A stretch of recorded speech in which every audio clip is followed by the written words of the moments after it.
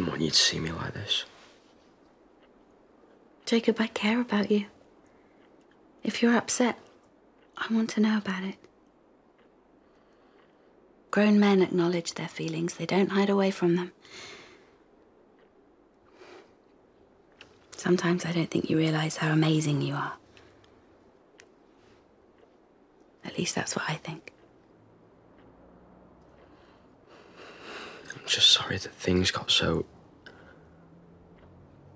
twisted between us.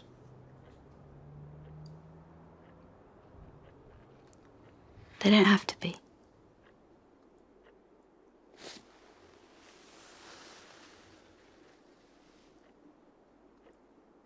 We can't change that.